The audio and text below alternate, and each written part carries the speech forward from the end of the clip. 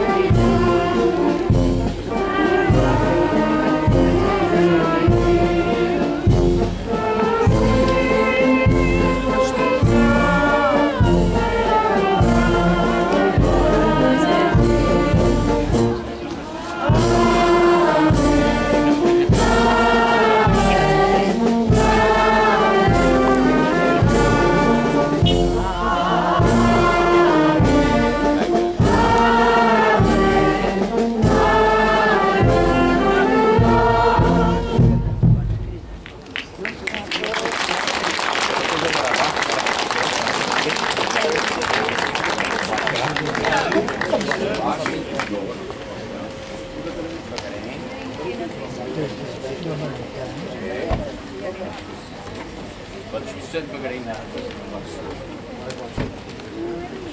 you.